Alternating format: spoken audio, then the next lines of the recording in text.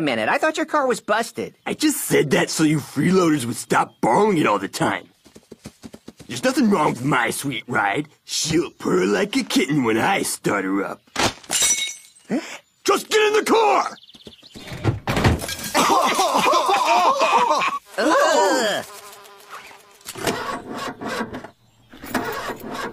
Try pumping the gas pedal. Pop the clutch. There is no clutch. It's automatic. Ugh. You just gotta finesse it. Ugh. Is the tank empty? Maybe you need a jump. I said I gotta finesse it. And I can't do that with all this negative energy.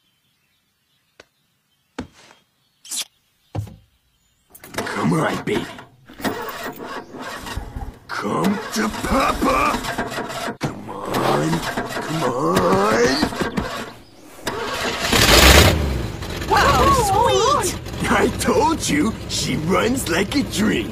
Now, let's go get some burritos. Jim Bruce burritos! Jim Bruce burritos!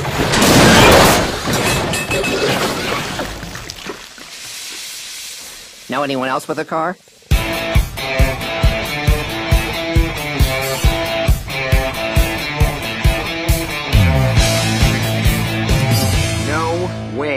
The last time I let you borrow my car, you totaled it. Do you think I'm crazy?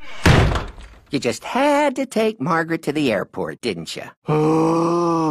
Somebody's got to have a car. Wait, the impound lot. Fives, doesn't your brother still work there as a cop? Yeah, I think so. Do you think he could get us in? I don't know. We haven't talked since he brought his girlfriend to Aunt Air Five's wedding. Come on, bro. Settle up and call him. We need this car.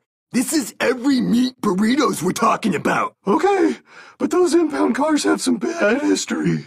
Sure, I can help you out. It's the perfect car. Lots of character. Cool. Which one is it? Oh.